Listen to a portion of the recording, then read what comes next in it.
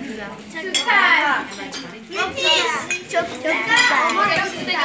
Çok güzel. Her şey nasıl gidiyor? Evet öğrencilerimiz salça soslu makarna yiyorlar. Müthiş.